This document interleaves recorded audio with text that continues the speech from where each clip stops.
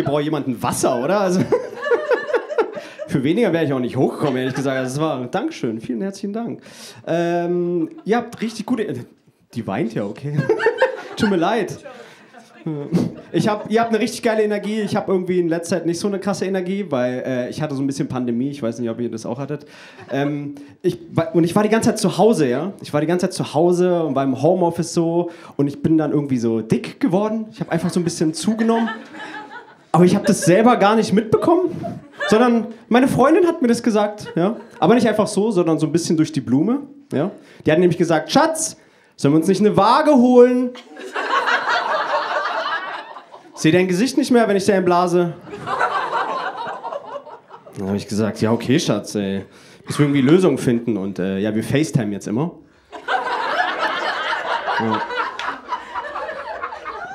Nee, ich habe wirklich richtig viel zugenommen, ja, so am Bauch und auch an den Brüsten. Das ist ein bisschen kacke so als Mann. Weil jetzt könnte ich einfach ihre BHs anziehen und sie meine. Und das will ich nicht, das sind meine BHs. So. Das ist, ne. Ich, ich habe das auch wirklich dann daran gemerkt, so manchmal, wenn ich auf dem Klo sitze, verheddern sich meine Nippel meinen Beinhaaren. Und es war dann so der Punkt, wo ich mir dachte, hey, ich muss irgendwie was machen, ich muss irgendwie anfangen, irgendwie Sport zu machen, rauszugehen oder irgendwie sowas, ja. Und da haben wir uns ja alle irgendwie in der Pandemie ja gedacht, hey, könnt mir einen Hund holen, oder? Könnt ihr einen Hund holen? Ist ja auch mega logisch, oder? Wenn ich meinen eigenen fetten Arsch nicht an die Luft bekomme, versklave ich ein anderes Lebewesen. Gibt es ja auch in der Natur richtig oft, so Schimpansen, die mit Wölfen Gasse gehen mega häufig so. Aber ich habe mich dann so gefragt, was ist das mit dem bester Freund des Menschen? Hat mir jemand den Hund gefragt, ob er denn möchte?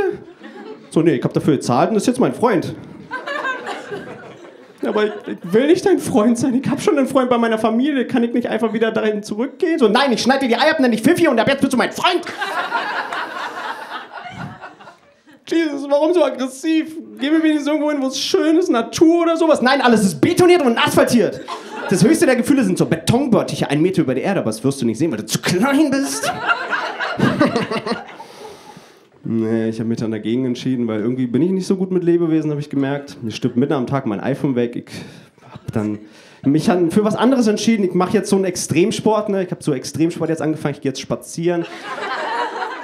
Und ich bin richtig viel spaziert so, ja, in der Pandemie und als ich im Homeoffice war. Und da sind mir richtig viele Dinge so passiert. So eine Sache war, ich bin so spazieren gewesen, ja, und dann bin ich an so einem Spielplatz vorbei und da ist so ein Holzschild davor gewesen und dann hat so ein Rowdy mit Kreide dran geschrieben, Gott liebt dich.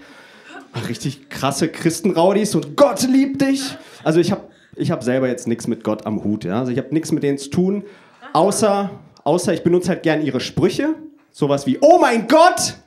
Oder Jesus Christ, weil die Alternativen sind einfach alter Falter. Oder mein lieber Herr Gesangsverein. Ein andermal bin ich so spazieren gewesen, ja, und da ist mir so eine Nacktschnecke über den Weg gelaufen. Und ich habe mir dann gedacht, so, warum sind die Nacktschnecken eigentlich die Weirdos unter den Schnecken, oder? Weil die sind doch genauso wie wir. Die haben festen Wohnsitz, die gehen ganz normal zur Arbeit, die ernähren ihre Familie. Und aber die normale Schnecke mit ihrem Haus hinten drauf, die hat keinen festen Wohnsitz, die hat immer ein Wohnmobil dabei und immer wenn die mit ihren Schneckenkumpels so abhängt, sieht es einfach aus wie so ein Trailerpark. Deswegen würde ich einfach sagen, wir benennen die um in Redneck-Schnecke oder Trailer-Schnecke oder irgendwie sowas in die Richtung. Ja. Eine andere Sache, die mir auch passiert ist beim Spazieren, richtig viel Spazier-Content. So, ähm, eine andere Sache, die mir passiert ist, ich bin so spazieren gewesen und es war so mega der schöne Tag. Ne? Das war so blauer Himmel, Vögel haben gezwitschert und da fällt ein Glas um. Und also es war blauer Himmel, Vögel haben gezwitschert und vor mir lief so eine Dame, ja, die war ungefähr so 60 Jahre alt. Und aus dem Nichts zieht die ihre Hose runter und fängt vor mir an zu kacken. Das ist halt fucking Berlin, weißt du? Es war mitten am Tag, ja, weißt du, das war neben der Bäckerei, es hat nach Zimtschnecken gerochen und die kackt einfach hin. Ich, bin, ich, war mega schockiert, ja, aber so alle anderen sind so völlig normal dran vorbeigelaufen. Manche haben sie so gegrüßt, so, hallo Susi, wie geht's den Enkeln? Ich war, ich war mega perplex, Alter. Ich war mega schockiert. Ich bin so an ihr vorbeigelaufen. Sie fängt dann so an, Candy Crush zu spielen irgendwie. Guckst du so an, Alter, was geht denn bei dir? Und sie guckt mich so an, so, hm, was ist dein Problem? Als wäre ich der Weirdo, weißt du? Als wäre ich bei ihr in die Wohnung rein, die Party so aufgetreten, so, hallo Susi, wie geht's deinen Enkel? Nee, das war mitten am Tag. Da ist eine Mutter mit ihrem dreijährigen Kind dran vorbeigelaufen. Stell dir mal vor, das ist deine erste Erinnerung als Kind. Na, Alter, Kack, das ist deine erste Erinnerung? Du bist doch mega traumatisiert, oder? Also bei mir hat es auf jeden Fall was ausgelöst. So, ja? so nämlich zwei Dinge. So erstens, ich habe jetzt mega Angst vor Leuten, die vor mir laufen, plötzlich langsamer werden. Und zweitens, ich, ich zweifle jetzt total an meinen gesellschaftlichen Skills. Weil ich war jetzt fast zwei Jahre im Homeoffice. Und ich weiß nicht, aber vielleicht hat sich die Welt ja weiterentwickelt. Vielleicht ist es jetzt völlig normal geworden. Vielleicht gehst du mit deinem Arbeitskollegen Thomas in die Mittagspause. Ja, also Thomas, wegen den Bilanzen, ne? Wir müssen das fertig kriegen bis Dienstag. Wir müssen das fertig Dienstag. Hast du mir ein Tempo, Digga? Hast du mir ein Tempo? Ja, danke schön. Aber das passiert ja in Berlin die ganze Zeit, oder? Mir ist äh, noch, noch mal passiert so, wir haben vor unserem Edeka so einen kleinen Busch, ja, der ist so hoch. Und jetzt hat die eine Frau der Perspektiven nicht verstanden, weil die hat sich dahinter gesetzt und hat angefangen zu pinkeln. Und von der einen Seite hast du so ihren Kopf gesehen und von der anderen Seite einfach alles. Ich weiß nicht, was die sich gedacht hat. So, naja, wenn ich in die Richtung gucke, dann sieht das keiner, oder? Keine Ahnung. Ein anderer Typ, war ich morgens auf dem Weg zur Arbeit, wo ich es noch konnte. Ja, und kennt ihr diese, äh, diese Werbetafeln an Tramstationen? Ja? Und der Typ, der Typ war so ein richtiger Picasso, ja. So ein richtiger, so ein richtiger Künstler. Der hat nämlich so sein Dünnsches da so verteilt, ja. Und weil er, weil er halt so ein krasser Künstler ist, hat er da so ein, so ein Taschentuch in die Mitte gelegt, so. Bitteschön. Oh, fuck, ey. Naja. Ähm, ich wohne nicht alleine, da wo ich wohne. Richtig guter Übergang, oder? Habe ich richtig lange geübt dafür. Ich habe eine. Ich habe eine hab ne Freundin. Ich habe eine Freundin, äh, seit fünf Jahren bin ich mit ihr zusammen. Seid ihr auch ein Paar? Äh, wie lange seid ihr schon zusammen? Okay, wohnt ihr auch zusammen? Ja, okay, dann, dann das spielt jetzt nur für euch. So. Nee, also ich hab, bin auch seit fünf Jahren mit meiner Freundin zusammen und ich habe über die Zeit jetzt so festgestellt, worauf es ankommt in einer Beziehung. Ja, ihr wahrscheinlich auch. So, meiner Meinung nach nehme ich auf zwei Dinge. So, erstens, wie gut ist eure Kommunikation? Ne, man muss alles mal ausdiskutieren, so wie, warum hast du die Spülmaschine nicht eingeräumt? Oder, hä, warum hast du mit meiner Schwester geschlafen oder so? Man muss halt immer, ja, so, ja, ja, genau. Man muss halt immer über alles reden. Und die zweite Sache ist, wie gut ist man im Aushalten von 14? Weil es gehört zum Alltag genauso dazu wie Spülmaschine einräumen oder Schwester ficken. Das ist, das ist immer da. Deswegen lebe ich ja auch nach der Devise, beweise mir deine Nase aus Stahl und ich schenke dir einen Ring aus Gold. Nee. Gott kann dir hier nicht mehr helfen. Nee, also ich, ich kenne so von mir, ne? Am Anfang einer Beziehung, da tut man immer so, finde ich, wie so ein Roboter, ne? Ohne menschliche Bedürfnisse. Und dann sagt man immer so Sachen, ne? Oh, das ist ja ein schönes Kleid, ja. Oder natürlich haben wir Haftbuffet beim Sex, ja. Oder Schatz, mach schon mal die Musik an, ich komme gleich wieder. Und in Wahrheit gehst du dann kacken. So. Aber ich finde, kacken ist mega das harte Wort, oder? Wenn man bedenkt, was da wirklich rauskommt. Kacken klingt für mich wie so ein Stahlbetonbolzen, der auf dem Boden aufklingt. So kacken, kacken, kacken. Ich würde eher sagen, es ist Flutschi Plumsi. So, Schatz, Schatz, mach schnell, ich muss vor Flutschi Plumsen. Hansi, nicht die ganze Zeit Flutschi Plumsen, wir müssen hier weitermachen. Der Typ ist zu blöd zum Flutschi Plumsen. Ja.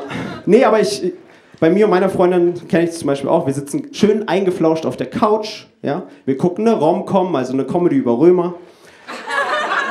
Und im nächsten Moment und im nächsten Moment liege ich ohnmächtig auf dem Boden, werde wiederbelebt von Sanitätern, weil meine Freundin einen spionähnlichen Giftgasangriff auf mich ausgeübt hat. Wenn ich furze, dann ist es eher wie so ein, wie so ein Geschenk von einem Großonkel. Es kommt unerwartet, ist aber oft scheiße. Oder, oder ist es wie, wenn ein Vollweise auf eine Tretmine läuft. Es gibt kurz einen Knall, aber es wird auch niemand vermissen. Ja. Nee, aber wir haben uns mittlerweile schon voll den Spaß draus gemacht, so, ja. Schon voll die Spiele draus gemacht. So, letztens habe ich durch einen Spalt in der Tür gefurzt und dann ganz schnell zugezogen. Das nenne ich Räucherkammer. Sie hat sich dann an mir gerecht. Sie hat sich dann an mir gerecht. Sie hat beim Löffelchen machen meinen Pimmel angefurzt. Und ich war nicht mal sauer. Es wird dann schön warm und kuschelig und wir sind uns näher gekommen. Es war echt schön. Ja. Meine Freundin hat mir jetzt äh, letztens auch so ein, äh, so ein Duschgel gekauft. Meine Freundin hat mir so ein Duschgel gekauft und da stand so drauf Anti-Stress-Duschgel. Und, und ich wusste nicht, dass es Leute gibt, denen Duschen zu stressig ist. Weil ich dusche nie so. Bei mir ist es immer relativ entspannt. Und auch wenn ich es ein bisschen eilig habe, dann brauche ich kein Anti-Stress-Duschgel. Ja, dann, dann, bin ich ja mega entspannt und komme zu spät, oder? Stell dir mal vor, kommst zu spät zur Arbeit und dein Chef fragt dich, ja, warum ist es zu spät? Sorry, falsches Duschgel? Macht doch gar keinen Sinn. Meine Freundin arbeitet jetzt auch äh, in so einem, in einem Büro. Ne? Meine Freundin arbeitet jetzt in einem Büro und die hat dann so ein bisschen Angst, öffentlich so ihre Gefühle zu zeigen, ja. Und wir telefonieren mittags ab und zu, ja. Und letztens habe ich sie so angerufen und dann habe ich zum Schluss gesagt, alles klar, Schatz, wir sehen uns heute Abend, ich liebe dich. Und sie hat gesagt, gleichfalls. Ich meine, was ist denn ihre Angst gewesen, dass Leute an der Kaffeemaschine lästern? Sabine, Sabine, hast du gehört, was Silke gesagt hat? Sie hat gesagt, ich dich auch. Als nächstes macht sie sich einen OnlyFans-Account. naja. Ähm, wie gesagt, ich bin, ich, ich bin im Homeoffice, ne? ich sitze die ganze Zeit da. Entschuldigung. Ich sitze die ganze Zeit voll viel, ich bin Bürotyp, ja. Und ähm, durch dieses ganze Sitzen, ja, das geht mir so voll auf die Knie und voll auf die Hüfte und voll auf den Rücken. Und ich fühle mich mittlerweile mit 30 wie so ein 70-Jähriger einfach, ja. Und dann habe ich diesen einen Spruch gelesen, vielleicht kennt ihr den ja auch, so Sitzen ist das neue Rauchen. Schon mal jemand gehört? Sitzen ist das neue Rauchen. Na, das heißt im Prinzip so viel wie, ja, durch das ganze Sitzen ist schädlich für den Körper, wie Rauchen halt. Aber ich habe mir dann gedacht, was wäre, wenn Sitzen wirklich wie Rauchen wäre? Könnte man dann Stühlebad nur noch ab 18 kaufen? Müsste Ikea dann so warnenweise draufpacken, so Sitzen ist tödlich oder Kinder von Sitzern werden selbst oft auch Sitzer? So Jugendliche würden dann heimlich auf den Schulhof sitzen gehen. Mütter aus dem Prenzlauer Berg kommen dann auch sagen, Entschuldigen Sie bitte, Sie sitzen neben meinem Kind, da hinten gibt es eine Sitzarea, ja? Im Flugzeug gibt es dann auch so geile Durchsagen. Sehr geehrte Damen und Herren, dies ist ein Nichtsitzerflug. Weder das Sitzen auf den Gängen noch das Sitzen auf der Toilette ist erlaubt, Dankeschön. Im Film kommt der Cowboy dann auch so angeritten, ja? Steigt so von seinem Pferd ab, guckt dem Bösewicht ins Gesicht und dann setzt er sich erstmal hin. Ja, nach dem Sex erstmal schön sitzen. Okay. Naja, aber irgendwann ist Sitzen ja auch so illegal, ne, weil es so schädlich ist. Und dann hörst du im Radio so durchsagen, die Polizei hat bei einer Razzia 350 Stühle, 20 Sofas und einen Sitzsack beschlagnahmt. Von den Tätern fehlt jedoch jede Spur, sie haben alles stehen und liegen lassen. Junkies am Kotti kommen dann auch so an. Digga, hast du mir einen Hocker? Ich muss unbedingt wieder sitzen.